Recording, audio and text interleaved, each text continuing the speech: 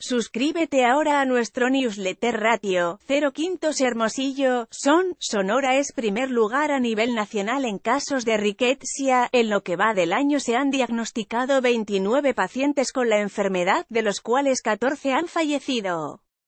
De acuerdo con datos del Sistema Estatal de Epidemiología, del total de los casos de pacientes enfermos 16 son mujeres y 13 hombres. Tamaulipas y Chihuahua son los estados que ocupan el segundo y tercer lugar respectivamente en presencia de riqueciosis, con 22 y 20 casos registrados por la instancia de epidemiología.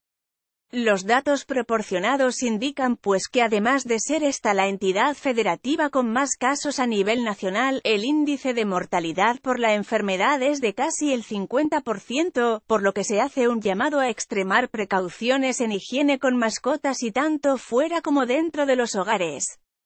EXPAFFRUJUN 2018 Calificar la nota. 0 rating. Yo Expreso. Repórtanos por WhatsApp 662 1262 X. Resultados de la encuesta